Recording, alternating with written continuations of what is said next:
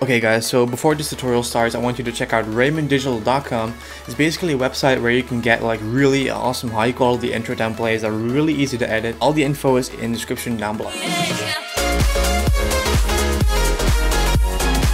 What's up guys, my name is Alex and welcome back to a brand new video and in this video I'm going to show you guys the best and the most important uh, keyboard shortcuts for Sony Vegas because as you guys can see uh, we all use a keyboard, that's obvious. Basically guys, I'm gonna run through all the keys that you can use in Sony Vegas just to, uh, in order to just to cut, to uh, play the video, to go back, to undo things. So in this video, I'm going to show you guys the, the most important uh, keyboard uh, shortcut for Sony Vegas. So it's going to be really awesome, really simple as well. So make sure to hit the subscribe button down below and let's see how many likes we can get because I'm just so stoked for this. So I would say let's go Dio. Okay guys, so as you guys can see we are in Sony Vegas and basically I'm, I'm just going to start off uh, with the shortcuts that I always use. I'll be making sure to place them like in the corner, uh, like the like the keys that I'm going to press in that I use.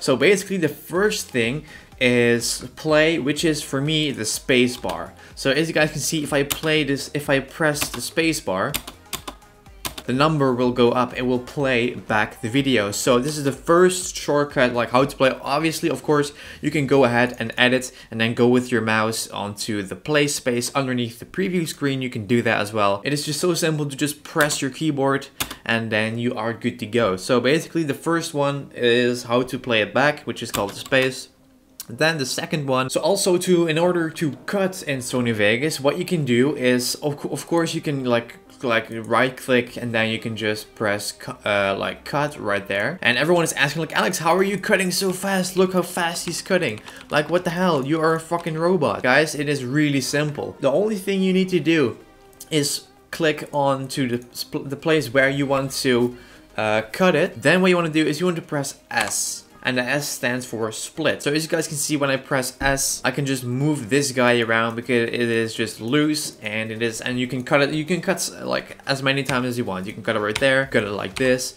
like that, like that, like this, like that. And now we have all separate pieces as you guys clearly can see. It is that simple. So this is the second one, which is cutting things, uh, which is just S for me in my case. Then moving on to the next one is how to group certain layers. Let's say you have two of those and you want to move them all at once. Like let's say this one is this size and I'm going to copy this and I'm going to make this one that size and I'm going to also copy it again and make this guy this like this size, this guy right here Boom. So as you guys can see, we have all different layers and there's no way that you're going to move them all separately like this. It's just, it's just going to be, it's just way too much work. What you want to do is you want to hold control, you want to click on each clip. What you want to do then is you want to press G. So as you guys can see, what if we if we press G, what happens is it is just grouped. All those separate pieces, as you guys can see right here, all those separate ones, this guy, like for example, they are all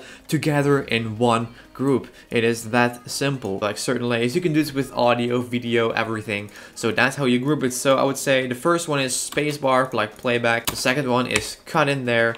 And then, then the third one is just G, which groups clips, and I would say those are three most important keys that I always use. So moving on to the next one is, let's say if you are working on a certain track and you want to mute this, what you can do is obviously you can click on this little icon mute or you can press Z. That's in my case muting first uh, track because if I also, let's say remove this track, this file is still here, but you don't see anything on the previous screen and this one is also a little bit darker because this is muted as you guys can see. So you can press Z uh, to mute and unmute a track. It's not going to remove a track when you're going to render it, I think, I guess. So you just have to kind of find it. Um, and then obviously then other things uh, which are just pressing S. If you want to uh, render out a certain region, you can press Q. So now it's going to render out only what you have what you have selected.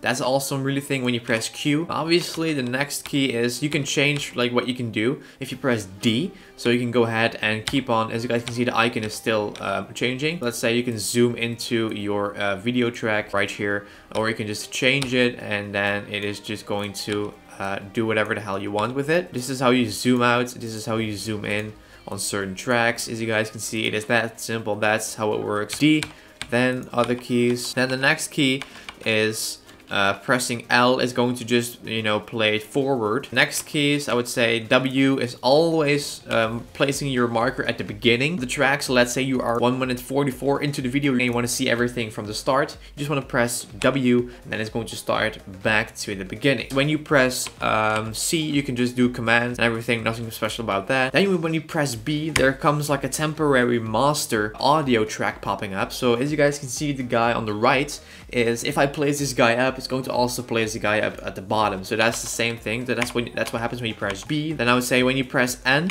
you can just place uh, like certain, I think like certain like keyframes or something. Press on N. And otherwise, I think you just, I, think I had the entire keyboard. Of course, you can also use numlock to go back and whatever the hell you can do. And you can also set it yourself. So those are the most important keys, guys, the most important keyboard shortcuts in Sony Vegas. So that's as simple as guys. I hope you guys enjoyed this video. Make sure to smash the like button down below for more Sony Vegas tutorials. So I will see you guys tomorrow for a comparison video where I'm going to compare Vegas Pro 13 with Vegas Pro 14. So make sure to stay tuned for that. Thank you guys for liking, and I will see you guys tomorrow. That's it for the video guys. I hope you guys enjoyed this video. Make sure to smash the like button down below and also subscribe button at the bottom. So thank you for the continued support. If you want to see more content, make sure to click right here. That's it for today. Thank you guys and I'll see you guys tomorrow.